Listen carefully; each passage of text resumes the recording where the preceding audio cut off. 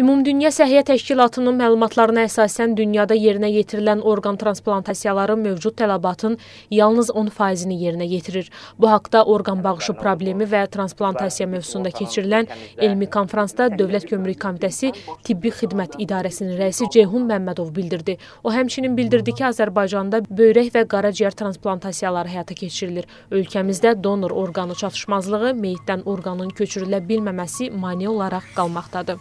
Dünya üzrə aparılan böyrək transplantasiyalarının yalnız 36,2 faizi, qaraciyər transplantasiyalarının isə 19,2 faizi canlıdan canlıya əməliyyatlar vasitəsilə həyata keçirilir.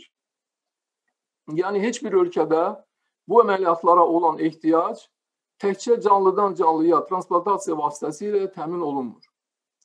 Orqan bağışı və meyitdən orqan transplantasiya ilə bağlı işlək mexanizm mövcud olmadığına görə Azərbaycanda ürək, ağciyər, mədə altı vəzi və bir sıra digər orqan və toxumların transplantasiyası əməliyyatları ümumiyyətlə aparılmır. Məhz bu səbəbdən ölkəmizdə donor orqan və toxumalarına ehtiyacı olan, lakin əməliyyat oluna bilmədiyi üçün həyatını və ya sağlamlığını itirən insanlar hələ də vardır.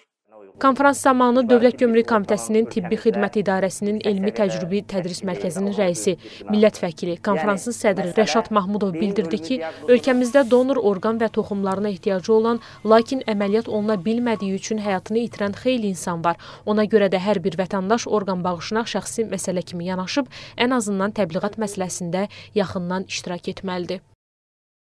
Bu cəmiyyətin analarına biz doğru bir şəkildə onların Allah qorusun hər hansı bir səbəbdən ötürü mənim ailəmdən birisi xəstəxanada həyatını itirdiyi zaman bunun artıq sağalmasının beyin ölümü tərəfindən mümkün olmadığı sübut edildikdən sonra onun orqanlarının istifadəsinin nə qədər faydalı olduğunu anlatmaq əslində bizim yəni cəmiyyətin digər üzvlərini, eləcə də tibb işçilərinin işidir. Məncə bu etik məsələdə cəmiyyətdən çox bu məsələni tətbiq edən insanlar üzərinə də bu güvən yaratma məsələsində çox böyük funksiya düşür. Bunu bu gün gördük. Transplantasiyada əslində çarəsi bitmiş və ümidlərin tükəndiyi son mərhələdə orqan çatışmamazlığının müalicəsində yeni bir ümid yeri olduğunu mən bilirəm ki, hər birimiz bunu anlayırıq, amma bu yolda hər birimizin üzərinə bir məsuliyyət düşür.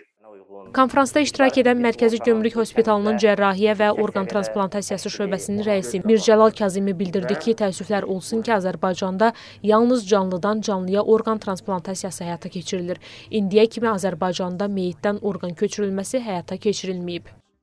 Bu əməliyyatlar sayəsində insanlar öz həyatlarını davam etdirməyə çalışırlar və davam etdirirlər. Onu da nəzərinizə çatdırım ki, əgər bu insanlar əməliyyat olmamış olsaydı, orqan transplantasiya əməliyyatına getməmiş olsaydı, 100% bu insanlar dünyasını dəyişəcək deməkdir. 10 illik təcrübəmiz əsasında e, biz komanda olaraq toplam 992 xəstə üzərində orqan transplantasiya əməliyyatını həyata keçirdik. Bunların 230 xəstə qaraciyər transplantasiyası, 762 xəstə isə böyrək transplantasiya əməliyyatına məruz qaldı. Milli Məclisin Səhiyyə Komitəsinin sədri Əhliman Əmir Aslanov isə bildirdi ki, son dövrlərə qədər Azərbaycanda donor bəxşişi xüsusən də meyitdən orqan köçürülməsi ilə bağlı qanunvericilik bazası yox idi.